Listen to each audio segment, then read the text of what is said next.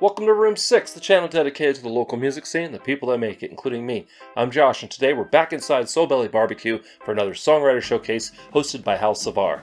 It's always a great time at this event, full of fun, friends, and former and future Room 6 alumni, making it a reunion every time.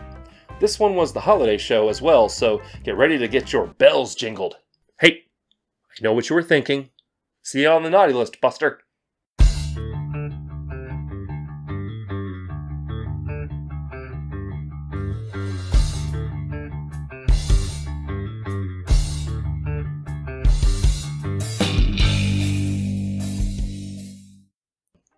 Opening things up like usual was our host, Hal Savar.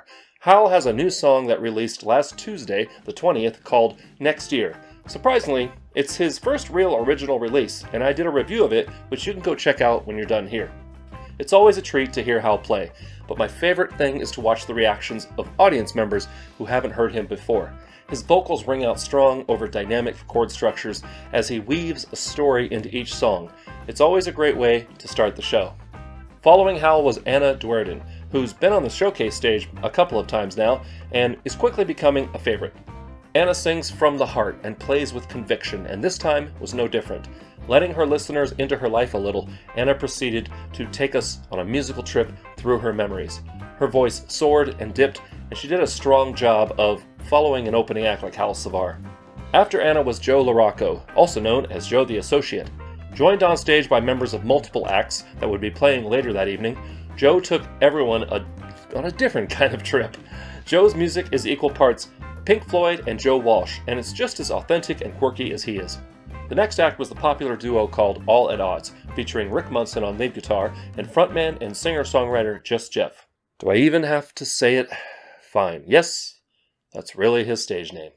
This pair of performers takes the simple concept of two guys with guitars and inject a little humor and laid back storytelling into the mix.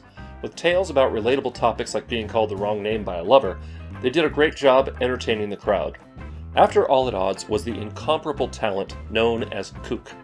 Exuding a cosmopolitan air tinged with punk and folk sensibilities, Kook's music transported the audience to a world full of pure emotion as their voice floated over all of us telling songs of love and heartbreak, and it's easy to see why audiences always love when Kook performs.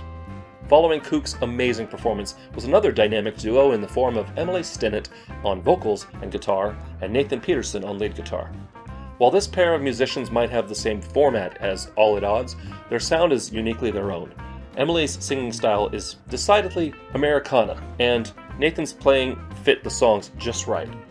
I'm looking forward to getting them on the channel soon for an interview and hopefully a performance. Coming up next was Sage Waters, a familiar face that we haven't seen in a while, and she's been sorely missed. Sage's music is full of upbeat moments, sprinkled with lyrical vocal runs and a genuine honesty that is endearing.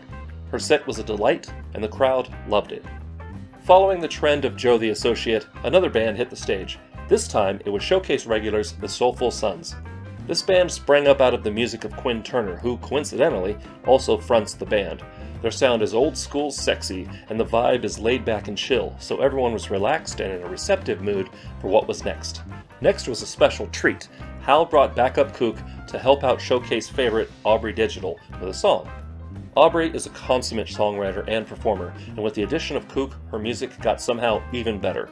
It was actually a shame there wasn't time for more music from the pair, but everyone greatly appreciated what we got.